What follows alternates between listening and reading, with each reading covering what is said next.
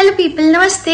Welcome back to the channel आज जो मैं वीडियो लेके आई हूँ, जिसपे मैं बात करने वाली हूँ, मैं उन चीज़ों की बात करूँगी, उन वर्ड्स के बारे में बात करूँगी, जिसको अगर आप अपनी ज़िंदगी से निकाल देते हैं तो आपकी ज़िंदगी की 70 to 80 percent problem automatically solve हो जाएँगी।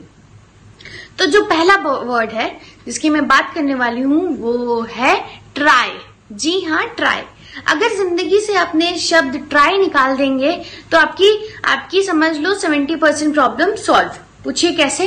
जब आप वर्ड ट्राई बोलते हो तो इसका मतलब है कि आप अपने कमिटमेंट के लिए कहीं ना कहीं पूरी तरीके से तैयार नहीं है। ट्राई जो है इज़ अ पॉसिबिलिटी ट्राई में ऐसा होता है कि पॉसिबिलिटी है कि आपकी कुछ चीज़ें कंप्लीट ना हो पाए।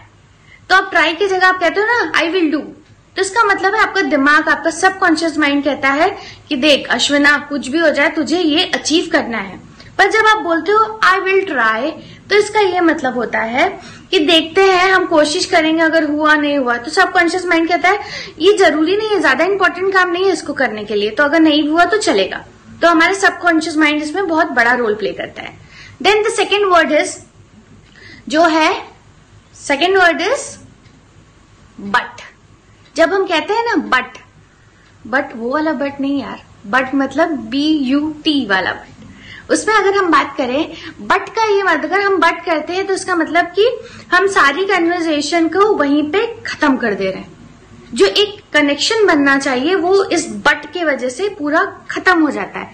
कम्युनिकेशन जो अगर हम किसी से कर रहे हैं या बात कर रहे हैं तो सिर्फ़ एक वर्ड बट की वजह से आपकी सारी कम्युनिकेशन खत्म हो सकती है। तो do take care of this thing कि जो ज़िंदगी में ये दो वर्ड्स ये दो वर्ड निकालने से आपकी ज़िंदगी के 70 टू 80 परसेंट प्रॉब्लम सॉल्व हो जाएँगे। जब आप ट्राई या बट करते हो तो सामने वाले को भी सुनने में लगता है कि, अरे, ट्राई बट? तो मतलब चांसेस है कि काम नहीं होगा। बट आप जब कहते हो I will do I can do and I will do don't worry तो इसके मतलब है कि आपका थॉट प्रोसेस पूरा क्लियर है और आप ये काम करके दिखाएँ ये बिना किसी भी डिस्ट्रैक्शन के।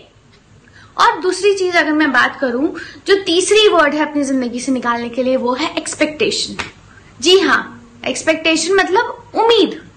जब आप किसी से उम्मीद करते हैं तो मेक श्योर sure, तो उम्मीद तो टूटनी ही टूटनी है. करनी है उम्मीद तो खुद से करिए. खुद से कमिटमेंट करिए कि मुझे ये करना है अपने लिए मुझे ये करना है वो अपने लिए मुझे ऐसे करना है वैसे करना है. किसी और से नहीं. सामने वाले ने आपको ये कभी नहीं श्योरिटी की कि वो आपके उम्मीदों पे हमेशा खड़ा उतरेगा. आपने उससे उम्मीद रखी इसलिए वो उम्मीद टूटी।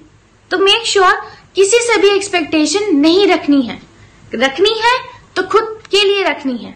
अगर वर्ड एक्सपेक्टेशन आपको अपनी डिक्शनरी में रखना है ज़िंदगी की डिक्शनरी में रखना है तो सिर्फ़ खुद के लिए रखना है किसी और के लिए नहीं कर रखना है। और जब आप एक्सपेक्टेशन कर रखते हैं तो आप कहीं ना कहीं अपना काम अच्छे से नहीं करते।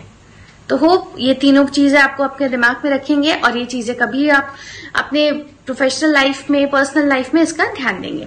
ट्राई बट एंड एक्सपेक्टेशन तीनों चीज़ को हटा दो।